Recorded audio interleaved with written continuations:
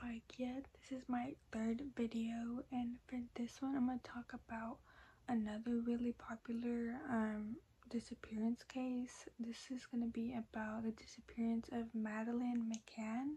Madeleine was born in the UK and she lived there with her parents and her two younger siblings. April 28, 2007, Madeleine's family um, got to Portugal. They went to Portugal for a spring break and they stayed in a two-story apartment. The apartment complexes in which they were staying in, um, seven of their friends and their friends' kids were also staying in the same apartment complexes just right next door.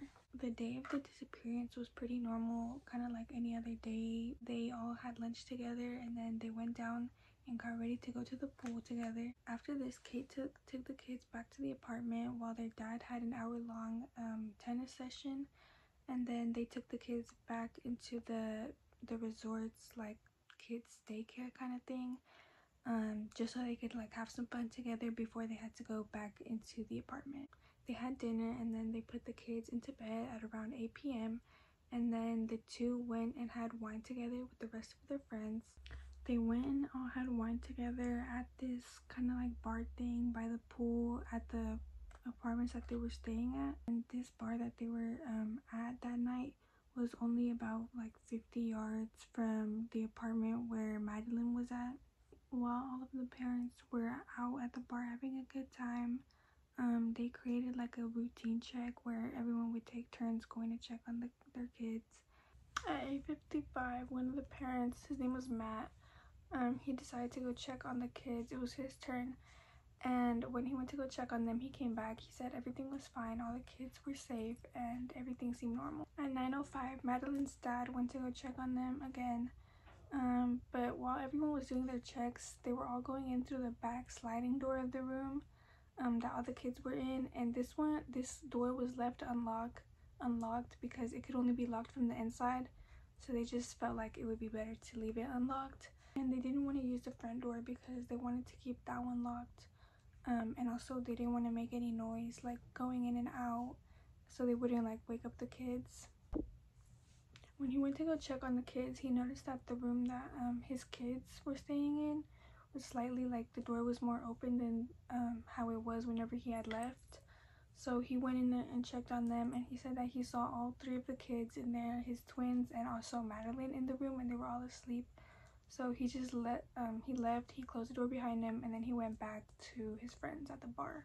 So while Madeleine's dad was walking back to where all of his friends was, he saw one of his friends across the street and he went up um and just like started talking to him, catching up with him. And apparently while they were talking, um, one of the other moms of the group that was there, she walked past them and she saw them, but apparently they didn't see her. But she saw them talking and she was on her way to go check on her kids and she said that further down the road it was pretty dark outside but further down the road she noticed that there was a man walking at a pretty fast pace and he was carrying a little girl that looked to be around the ages of three or four and she was wearing pink pajama she said that she didn't think very much of this because she was at a resort and she kind of just assumed that it was a father carrying his sleeping daughter back to their room or something so she continued to go check on her own kids um, back in the room and once she saw that they were fine she went back to everyone else. At around 9:30, one of the other um, parents his name was matthew he went to go check on all of the kids and he said that whenever he walked into where the mccanns were sleeping the kids he said that it was really quiet and so he went in the room and he he just took like a peek in there and then he saw that the twins were asleep and he didn't go fully in the room so he said that he just assumed that Madeleine was there and that she was asleep because it was so quiet but he couldn't quite really see if she was there or not. But he just assumed she was and he went back. Later at around 10 Madeleine's mom Kate she went to go check on her own kids and she said that whenever she went to go shut the door in the kids room that she noticed that the window was open because of the way that the door shut and the door back up and she noticed um, that Madeleine wasn't there anymore but the twins were still asleep. So whenever she noticed that Madeleine wasn't there anymore and that the window was left open, um, she ran out of the room. She left her two twins still sleeping in there but she ran back to everyone else and told them that Madeleine was missing. And that's whenever the mom from earlier said that she um, told everyone that she saw a man walking away the apartments carrying a little girl in his arms with pink pajamas.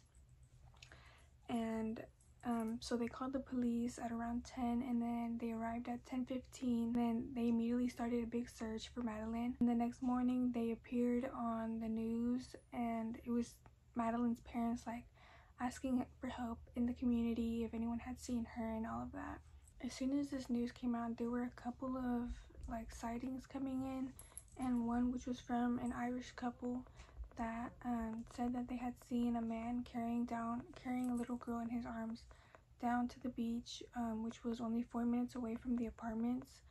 And there was also another sighting from a motorcyclist from that night that said that he had seen a couple with a little girl and they that they appeared to look like they didn't want to be seen. So police got descriptions of the people that um, the these witnesses apparently saw and these are the sketches that they got out of the descriptions um, there was also like some news going around that or like a theory kind of that basically said that um, Madeleine wasn't like taken that she was killed there um, at the resort which um, could have been possible. People think that the parents could have had like something to do with like if she were to be killed on the resort. People think that her parents would have had something to do with it because whenever the um, canine dogs were brought in, they picked up like scents um, behind her bed, behind her bed frame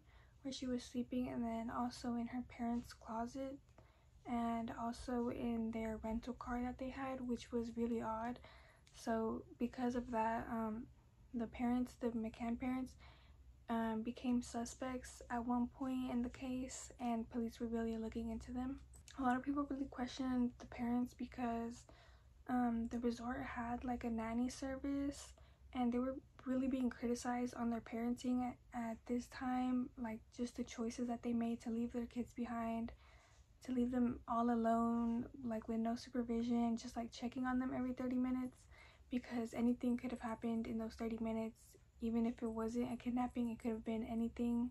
So they were really criticized especially for not having a nanny since there was a nanny service at the re resort. And uh, since like money wasn't an issue for them or anything like that when they were asked about this like why they didn't um, just get a nanny for the kids for that night out they said that they just wanted to like accommodate to what was best for the kids. They thought that this was what was best for them and they wanted them to like be able to stick to their routines and not have to change anything for a nanny which is kind of strange but that's what they thought. Even though they were um, police suspects for a while they did end up getting cleared later on. I don't know exactly how they got cleared but they did. But even when they got cleared, people said that the way that they were acting, like in interviews and just in public in general, was really strange.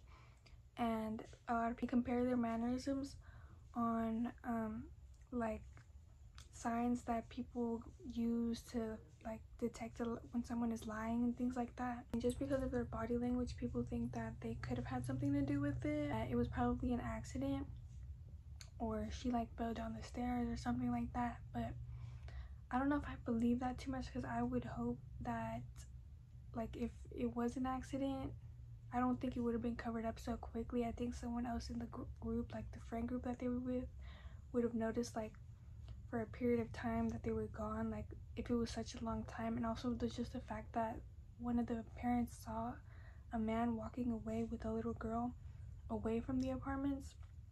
I think it's kind of hard to believe that her parents would have had something to do with it or like we're the ones to actually cause it. But people think that it could have been them because in their interviews they don't show too much emotion and they kind of often just smile after talking about their daughter.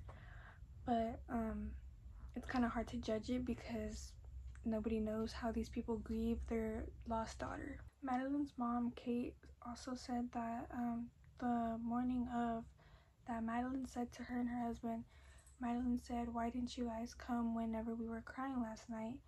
And I guess um, they had left the kids alone the night before again. but this kind of made her mom believe that someone probably went in and like scared her her kids or something and that's what caused them to cry um, and she also said that that morning she also noticed that there was a big brown stain on Madeleine's shirt so she thinks that it could have been the same man from the night before that could have gone in the room and like scoped it out and then the next day took Madeleine. So the main um, theory, I guess, is that Madeleine was abducted because there's no clear evidence that she left on her own since um, whenever Kate found her missing, she told everyone and everyone went in the room. People mess with things, people touch things. So, and no, there was no clear footprints, there was no clear DNA in the room. So, um, police weren't able to clearly see that Madeleine could have left on her own or if someone clearly went in there and took Madeleine. Those two theories seem to be like the most popular and the most um, possible. Either that her parents had something to do with it or she was just abducted by a random stranger. So a lot of people think that her parents did it and um, their friend group is covering it up for them. Um, which I think I would hope they wouldn't do that but it's also a possibility. Yeah anyways so there hasn't been also any like arrest made or anything made on this case. It hasn't i feel like it's kind of been forgotten since it's been so long. Um, her parents still appear like online every once in a while saying that they're still searching for madeleine and all these things. There's also been multiple like random sightings of girls that think that they're Madeleine McCann or like could be her but they've all come out to be false. My personal opinion i don't think her parents had anything to do with it just because the friend um the other mom in the friend group said that she saw someone walking away with the girl and also the irish couple said they saw someone walking away with a girl towards the beach. So that's kind of what i believe the most.